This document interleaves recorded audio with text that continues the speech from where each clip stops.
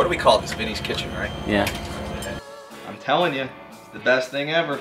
Can anybody give me an amen? Ah, yeah.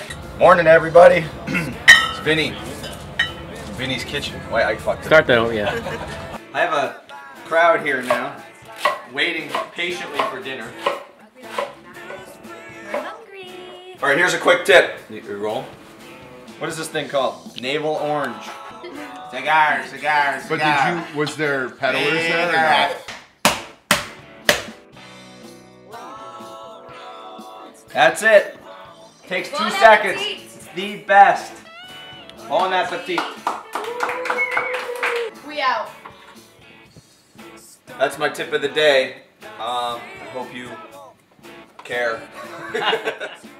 Is this still recording? Oh, fuck yeah. We were just kidding, Topper.